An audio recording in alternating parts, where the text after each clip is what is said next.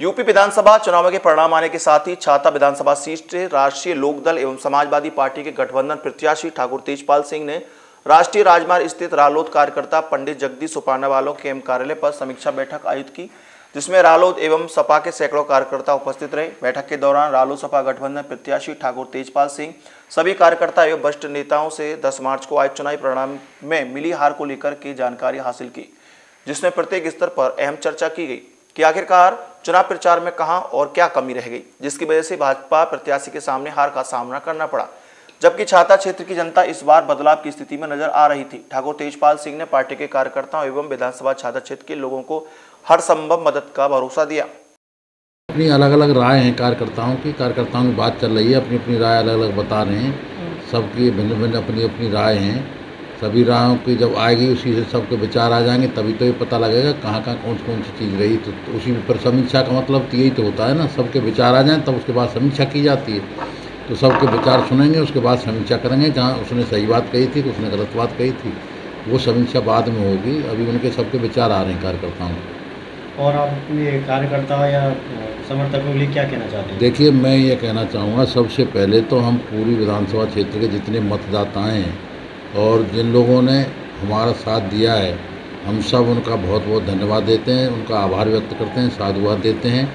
और कार्यकर्ताओं के लिए मैं निश्चित रूप से ये कहना चाहूँगा कि हमारे कार्यकर्ताओं को बिल्कुल मायूस होने की आवश्यकता नहीं है।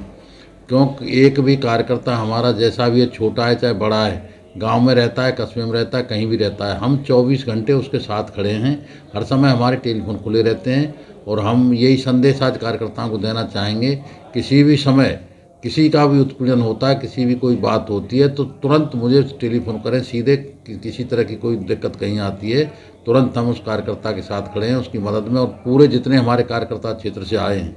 कार्यकर्ताओं ने एकजुट होकर अभी ये फैसला भी लिया है कि किसी भी कार्यकर्ता पर अगर किसी तरह की कोई आपत आती है तो सब के सब पूरे क्षेत्र से एक घंटे में इकट्ठे हो जाएँगे, सब वहीं। चाहे उनको कहीं थाना घेरना है, चाहे तहसील घेरनी है, चाहे डीएम के जाना है, चाहे एसपी के जाना है, लेकिन किसी तरह से कार्यकर्ता पीछे इसमें हटने वाले नहीं हैं। एकजुट होकर के, एक राय होकर के पूरे कार्यकर्ताओं ने संकल्प लिया है। कि किसी तरह का भी उत्पीड़न बर्दाश्त नहीं करेंगे। किसी भी कार्यकर्ता के साथ अगर उत्पीड़न की कार्रवाई होगी तो उसका मुँह तोड़ जवाब दिया जाएगा। उसको बिल्कुल अब हम, ऐसा नहीं है कि उसको बैठ के हम सहन कर लें या उत्पीड़न को झेल लें। उत्पीड़न अब बिल्कुल झेला नहीं जाएगा। इनके अत्याचार जितने पिछले पाँच साल हुए थे, पिछले पाँच साल में बहुत अत्याचार किए थे। अब अगर उसी पैटर्न पर ये चलते हैं और उसी तरह का अगर बदले की भावना से काम करते हैं तो अब कार्यकर्ता उसको बर्दाश्त नहीं करेगा और हम, इसमें भी हमें कोई गुरेज नहीं है अगर कार्यकर्ता की उस उत्पीड़न के खिलाफ अगर हमें सड़क पर भी उतरना पड़े तो हम लोग सड़क पर उतरेंगे और सड़क पर कार्यकर्ता के हित की लड़ाई को लड़ेंगे। ये हम लोगों ने संकल्प लिया है सभी कार्यकर्ताओं ने संकल्प लिया है। जी दो योजना से आप चुनाव आ रहे हैं दो हज़ार सत्रह दो हज़ार बाईस। मुख्य क्या कारण है आप अपने शब्दों में बताएँ।